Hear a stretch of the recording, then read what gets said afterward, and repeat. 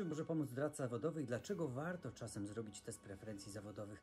Na te pytania postaramy się odpowiedzieć w tym właśnie filmie. Wiemy, że trudne decyzje podejmujemy w ostatniej chwili. My zakładamy, że masz na to tydzień. Tydzień to 7 dni, 7 minut dla Ciebie, 2 minuty dla Twoich rodziców. Zapraszamy.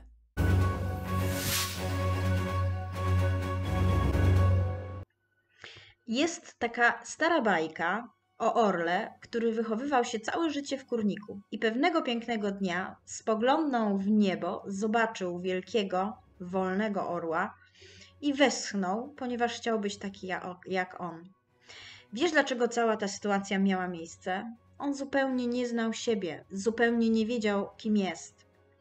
I wcale nie prosto się tego dowiedzieć, uwierz mi. Natomiast jeśli myślisz o wyborze szkoły, o wyborze przyszłego zawodu, to pierwsza rzecz, od której dobrze abyś zaczął, jest przyglądnięcie się sobie, poznanie siebie. Nie zrobisz tego w ciągu jednej godziny, w ciągu jednego dnia.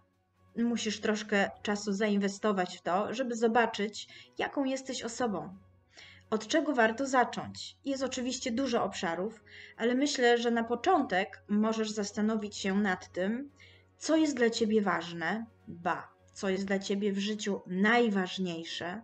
To jest pytanie o Twoje wartości. Drugi obszar, o który warto, abyś zadbał i przyglądał się jemu, to co potrafisz robić, co lubisz robić, a czego robić nie cierpisz. To jest pytanie, o Twoje umiejętności, zdolności, a może talenty. Nie ma ludzi bez umiejętności, każdy coś potrafi robić.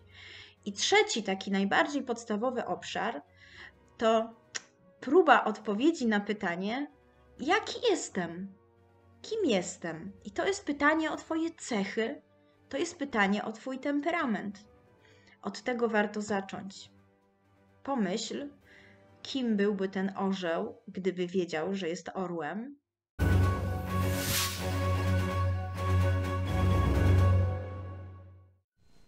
Kiedy warto wykonywać test, na przykład test preferencji zawodowych? No, wtedy, kiedy chcesz się dowiedzieć czegoś o sobie, czegoś nowego, czegoś, co jeszcze nie odkryłeś i być może ten test ci to pokaże.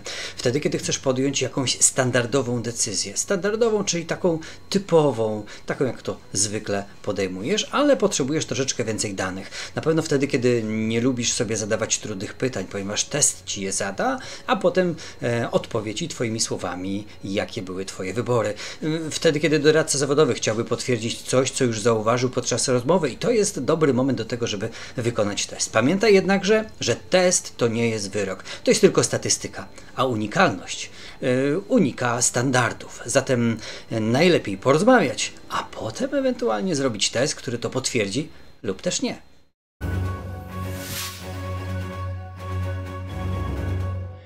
Trudno samemu zdecydować, jaką szkołę wybrać, jakie studia wybrać, jaki zawód wybrać. Trudno, rzeczywiście. Dlatego, że nie każdy potrafi odpowiedzieć sobie na te pytania właśnie, jaką jestem osobą. Dlatego warto skorzystać z porady doradcy edukacyjno-zawodowego. Jest to osoba, która razem z Tobą przyglądnie się temu, co potrafisz robić, co chciałbyś robić, jakie masz marzenia, jakie masz ambicje i cele co jest dla Ciebie najważniejsze. Być może również zaproponuje Ci jakiś test predyspozycji zawodowych. Doradca zawodowy będzie dla Ciebie takim towarzyszem, przy którym w bezpieczny sposób i zdecydowanie mniejszym stresem będziesz mógł podjąć decyzję, w którym kierunku chcesz pójść.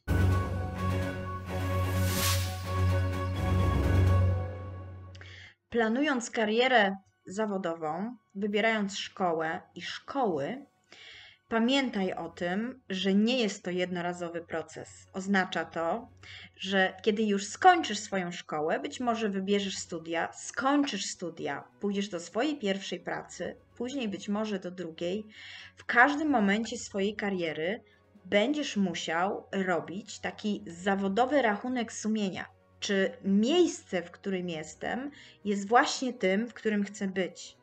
Warto, abyś nauczył się tego i możesz to zrobić razem ze swoim doradcą zawodowym, aby raz na jakiś czas w ciągu swojej drogi zawodowej robić taki remanent i sprawdzać, czy przypadkiem nie chcesz troszeczkę zmienić trasy. Jest to bardzo ważne, dlatego że w ciągu naszego całego życia zmieniają się nasze wartości, zmieniają się nasze potrzeby, zmieniają się ambicje. Im będziesz wiedział więcej, tym być może będziesz chciał więcej. Jeżeli będziesz chciał stawiać sobie ambitne cele, może okazać się, że praca zawodowa, w której funkcjonujesz w danym momencie, nie starcza ci. Pamiętaj zatem, że planowanie kariery, zarządzanie karierą nie jest procesem jednorazowym. Jest to zadanie na całe życie, przygoda na całe życie.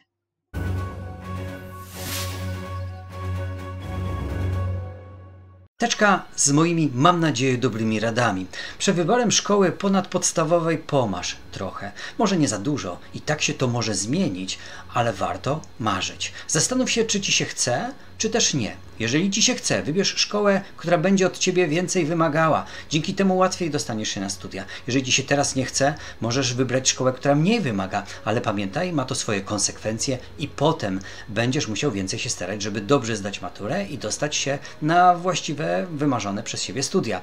No właśnie, skoro mówimy o wymarzonych, to zrób ten krok, czyli wybór szkoły e, ponadpodstawowej, patrząc dwa kroki naprzód. Czyli pomyśl sobie o swojej pracy, pomyśl sobie o swoich studiach, bo tak naprawdę szkoła ponadpodstawowa jest tylko środkiem do tego właśnie celu.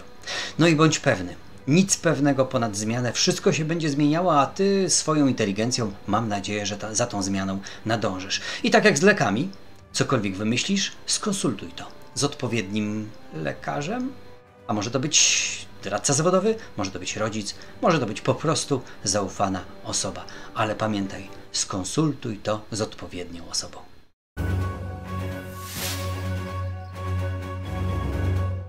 Powiem Ci o, o kilku młodych ludziach, którzy przyszli do doradcy po poradę. Michał, wybór na ostatnią chwilę. Zostało parę dni do tego, żeby zdecydować, jaką szkołę wybrać. Nie martw się, nawet jeżeli źle wybierzesz, pamiętaj, że zawsze możesz swój wybór zmienić. To nie jest koniec świata. Ola uważa, że zupełnie nic nie umie, nie ma żadnych talentów, nic ją nie interesuje. Spokojnie, na pewno coś się znajdzie. Kwestia przyglądnięcia się obiektywnemu pomoże ci w tym doradca. Dominik ma tyle zainteresowań, że zupełnie nie wie na co postawić. Uwielbia jazdę konną, fotografuje, gra w piłkę nożną, ale nie oznacza to, że musi podjąć takie właśnie zawody. Grunt, żeby poszukać część wspólną i wybrać taki zawód, w którym będzie mógł realizować większość z tych swoich pasji, umiejętności. Zuzia chce iść do liceum tylko dlatego, że idą tam jej koleżanki. Nie jest to dobry pomysł. Wybieraj zawsze te miejsca, które są związane z tym, co Cię może interesować. A jeżeli zupełnie nie wiesz, co robić, zwróć się po pomoc. Naprawdę doradca zawodowy podpowie Ci, w którą stronę się udać. Planowanie kariery jest jak bycie detektywem. Chwytasz lupę w dłoń i szukasz tropów. Nie zrobisz tego w ciągu jednej chwili. Musisz być uważny, a na końcu wszystko przeanalizować i zebrać w jedną całość. To sztuka, ale poszukaj pomocy.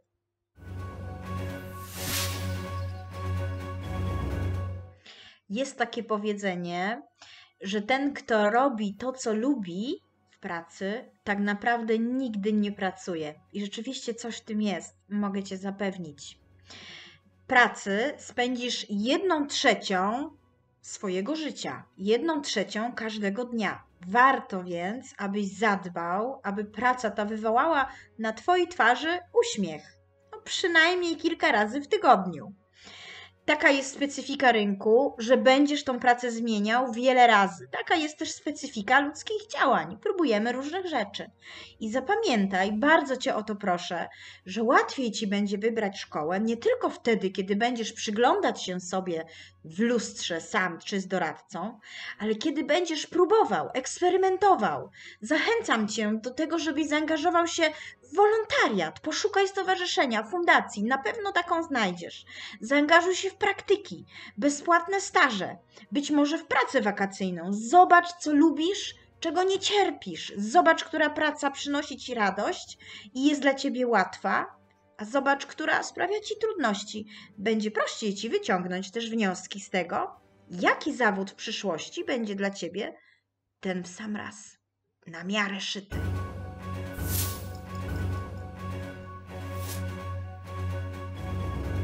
Co możesz rodzicu zrobić? Każdy rodzic zastanawia się, jak wesprzeć swoje dziecko. Zastanawia się, jak zrobić, żeby to dziecko podjęło właściwą decyzję. Co zrobić, żeby nie żałowało potem tych decyzji. Chcę po prostu, żeby dziecko było szczęśliwe. Ale trzeba pamiętać, bardzo mocno pamiętać, że to właśnie rodzic jest pierwszym, co prawda nieprofesjonalnym, ale doradcą zawodowym swojego dziecka. Staraj się być doradcą, ale nie staraj się być władcą. Nie podejmuj decyzji za swoje dziecko. E, I tak masz dosyć silną główną rolę, bo jesteś głównym sponsorem, bo jesteś głównym motywatorem do działań zewnętrznych swojego dziecka, jesteś głównym wspierającym swojego dziecka. Dlatego bardzo ważne jest, bądź przy decyzji swojego dziecka, wspieraj je, ale nie zabieraj możliwości wyboru, ponieważ to właśnie dziecko, które wybierze, będzie w tej przestrzeni, która mm, będzie dla niego ważna przez najbliższe 5 lat. W momentach niepewności oczywiście może skonsultować się z doradcą zawodowym. Jako specjalista pomaga uczniom, ale też może pomóc rodzicowi, jak odpowiednio doradzić, jak spowodować, żeby Twoje dziecko wybrało szczęśliwie i dobrze skończyło szkołę średnią.